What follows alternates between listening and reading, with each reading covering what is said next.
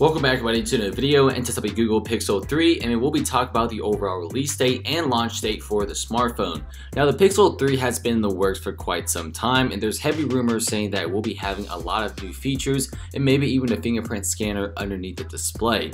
But right now, Google has stopped selling the Pixel 1 altogether, and there's major discounts for the Google Pixel 2 in all sorts of different places online. So we may be seeing Google making space and also making way for the launch of the Pixel 3.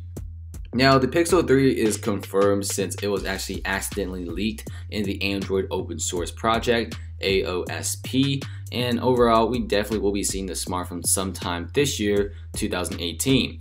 You may be wondering when is the overall release date? Now, the very first Google Pixel smartphone appeared on the 4th of October in 2016. It grabbed a lot of attention, Google's first smartphone. It was pretty nice, great cameras, the speed was pretty nice as well. And then the Google Pixel 2 devices were announced on the 4th of October in 2017, and that grabbed a lot of attention as well. So we may be seeing Google having a very consistent launch date every single year. We may be seeing the new Google Pixel 3 launching in the 4th of October 2018, and that's a very good guess for the launch date of the Pixel 3 smartphones.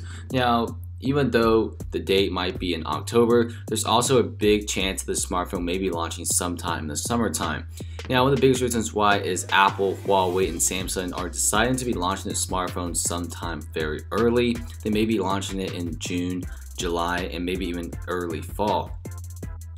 Now another big thing is we may be seeing the Pixel 3 having three different designs. We'll be having a small variant, a medium variant, and a large variant. And if Google really wants to be competing with other competitors, they may decide to launch it extra early this year and maybe sometime early fall or late summer. Thanks for watching, comments below.